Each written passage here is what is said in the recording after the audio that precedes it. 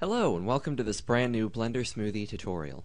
This is Ben Amend, and today we're going to be looking at creating a rock in Blender using the built-in textures with the Cycles shader system. So the reason I'm doing this is, uh, well there are two reasons. One reason is it's yet another tutorial involving Cycles shaders that really helps you get a better understanding of how the textures work and how they interact with the rest of the shaders and everything like that. Um, so it's really valuable in that sense. Uh, the other reason is I was actually working on a tutorial series and hoping that I would have that completed by this week, uh, and I didn't. So that's going to have to wait until next week. So this is sort of also a placeholder tutorial until then. Um, but I don't want to call it that because it does have some educational value to it. So hopefully that'll be finished by then, and in the meantime we can get started on this. So I'm going to start by deleting this lamp because we don't need that for anything. Uh, we'll be adding our own, and I'm going to delete the cube too. So the first thing we want to do is we want to create, of course, a basic rock shape. The easiest way to do that is to just add an icosphere. And down here we'll increase the subdivisions to maybe three will probably be good enough. Because we just want to get a basic shape in here. And then we can add some displacement later. So I'm just going to click Smooth Shading.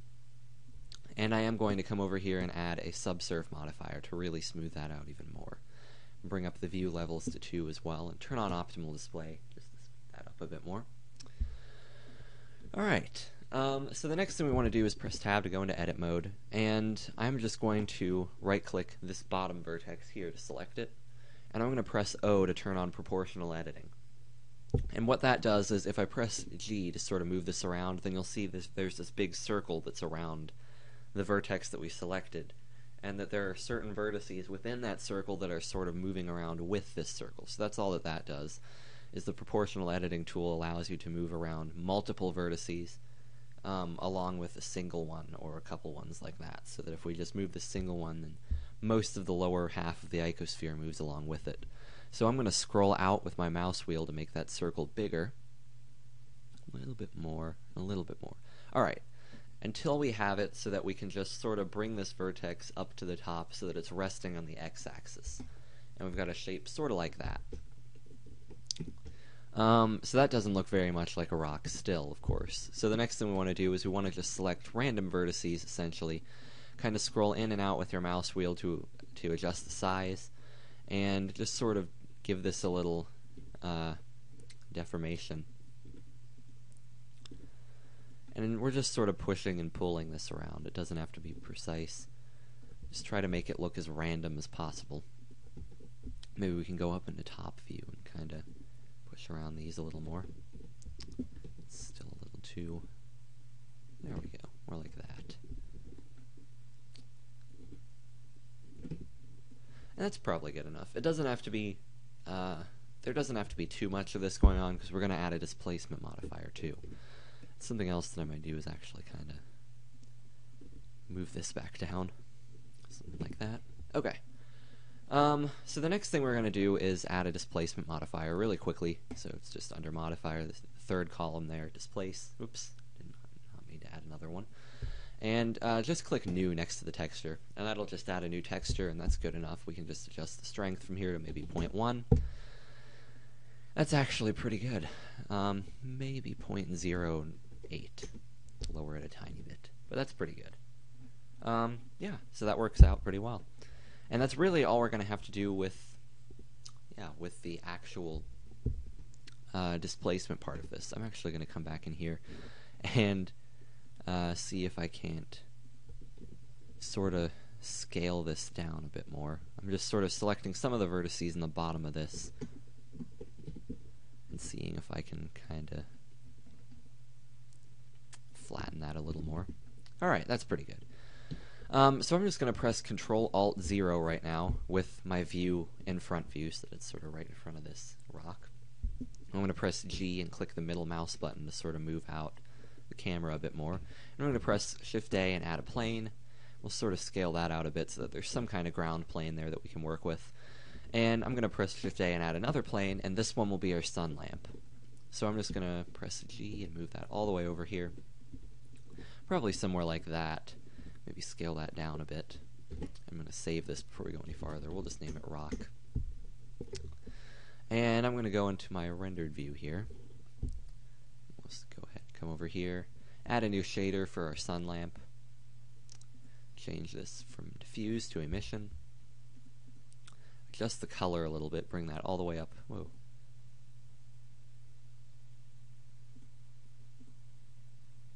Bring that color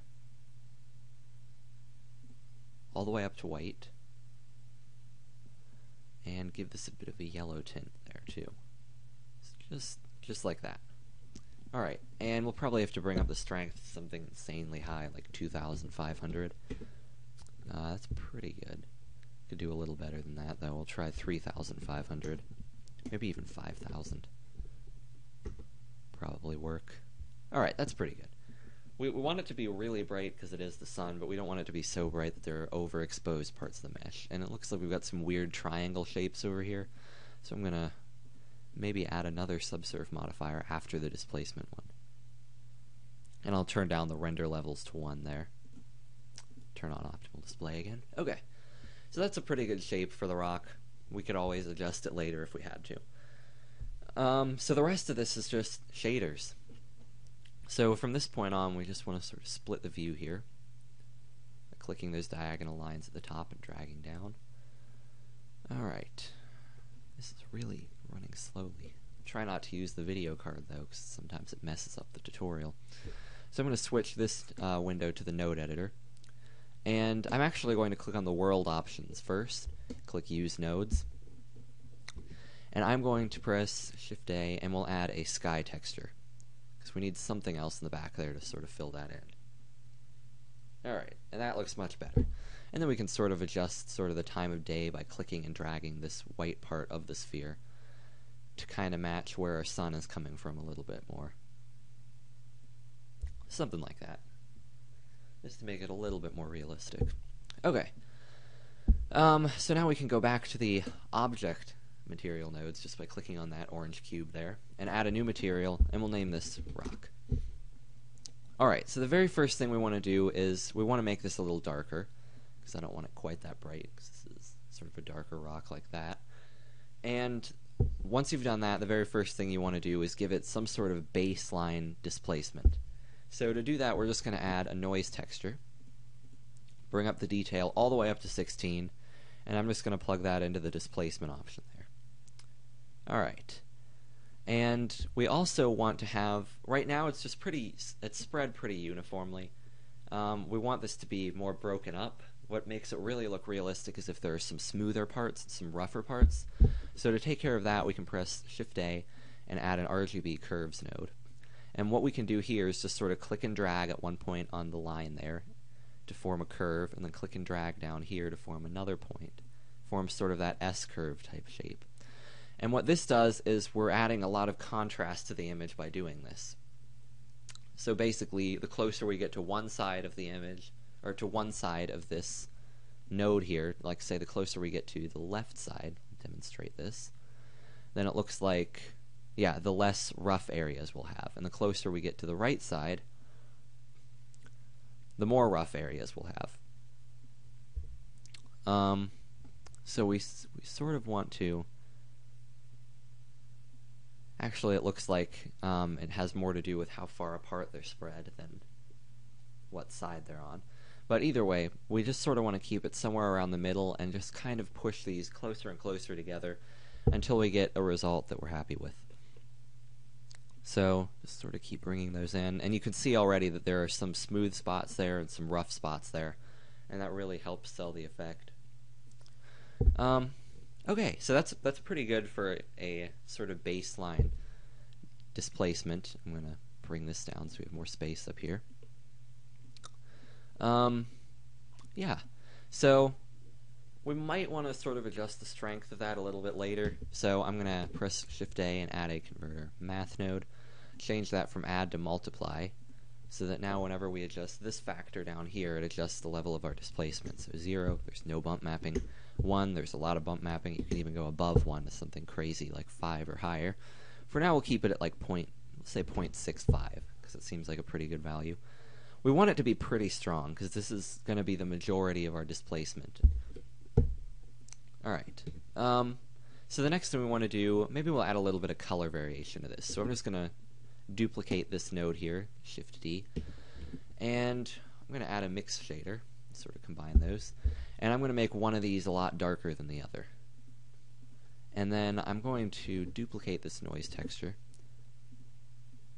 and we don't need that RGB curves texture. Let's drop that in there.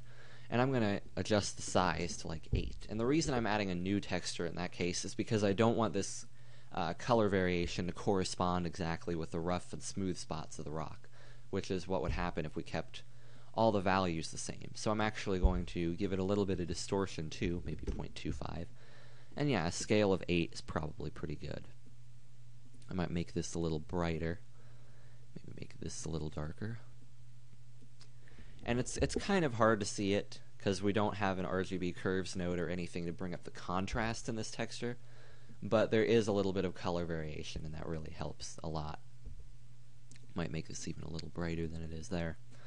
Alright, so something else that really helps sell the effect is to have sort of a a very fine bump mapping, especially if there's a little bit of uh, whiteness on the edges of that to make it look like it's sort of brushed up against other things, and it's sort of worn down a little bit on those sides, so it's not quite as dark.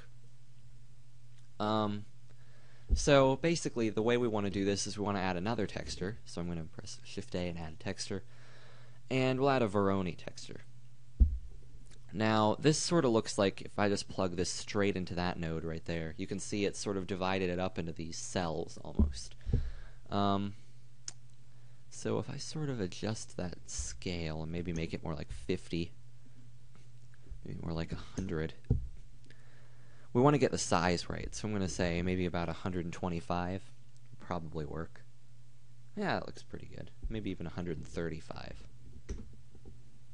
All right, and basically what we're doing is we're just trying to get these little these little craters small enough that they're more like a fine bump mapping surface instead. And of course, it looks really terrible now because we don't have any of the other displacement, and so it looks really flat, especially because of these weird shadows over here. Uh, but the way we basically combine these these two uh, different types of displacement is just by pressing Shift A and adding a mix RGB node, and sort of plugging both of these into those inputs. And the lower we set this, the less of the Voronoi bump we'll have. And we really don't want much of that, so I'm going to set this pretty low to maybe maybe not even 0.1. Um, yeah, I might try like 0.075 instead. So yeah, the lower we set that mix value on this mix node, then the lesser the intensity of that Voronoi texture we just added and then the higher we set it, then the more intense it gets, and the less of the initial uh, bump mapping we see. So we want something like that. And this time we're going to add, we're going to mix up some colors again. So I'm going to mix this with another diffuse shader. But this time we're going to make this pretty bright. Like really bright, like all the way up there. And when we're mixing these, we do want these to correspond, actually, with the Voronoi texture. Because like I said, we want sort of, let's see if that's the way we want it. Yeah, so we can sort of see, it's probably hard to see with the size of the rock in comparison to the size of the video, but basically we have sort of a lattice of the lighter rock, and then the darker rock is filling in the holes in between the lattice. And that's exactly what we want in this case, because like I said, I sort of want it to look like there's maybe a little bit of uh, wear and tear around that, around those parts that have the Voronoi texture. Um, and it helps sell the realism a little bit more to sort of have the white on the outside and then the darker areas and sort of on the inside.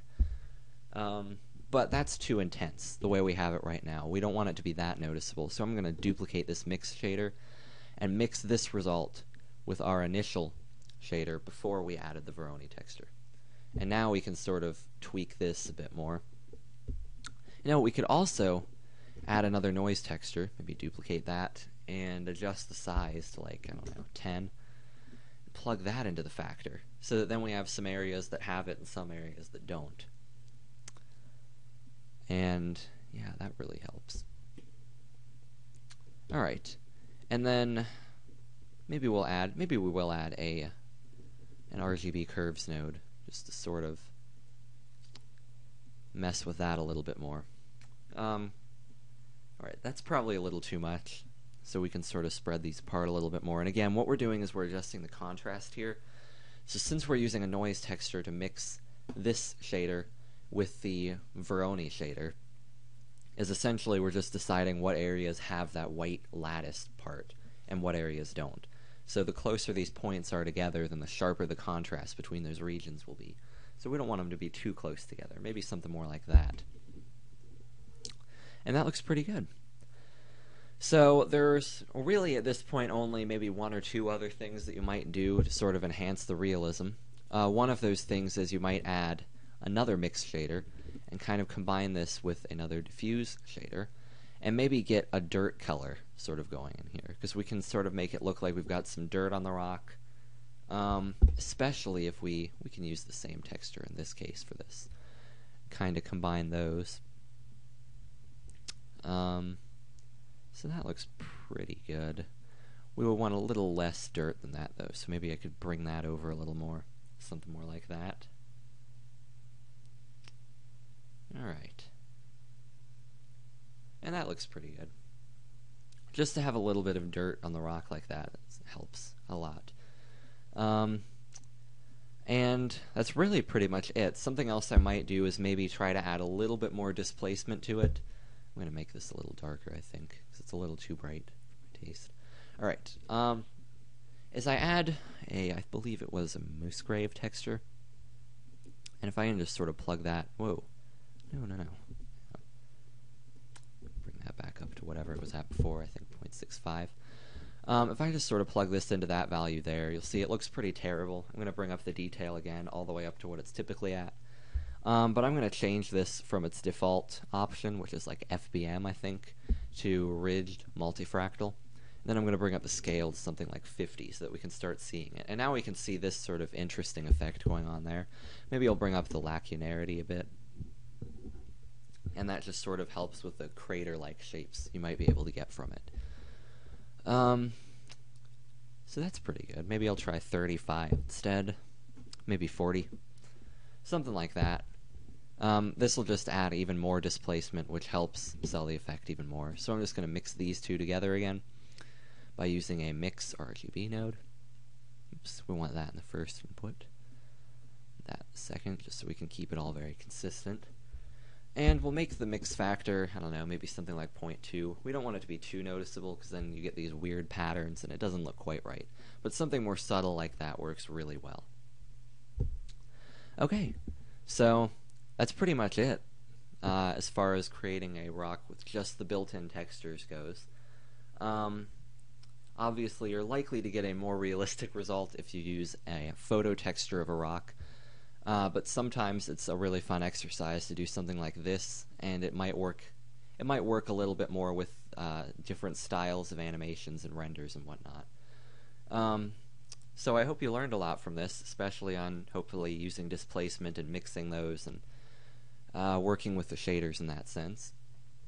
And I look forward to seeing you on the next tutorial series, which is going to be a really fun one, and hopefully not too many parts because I want to try to make it as short as possible. Uh, but I hope you enjoy that too when it comes around next week. So thanks for watching, and see you then.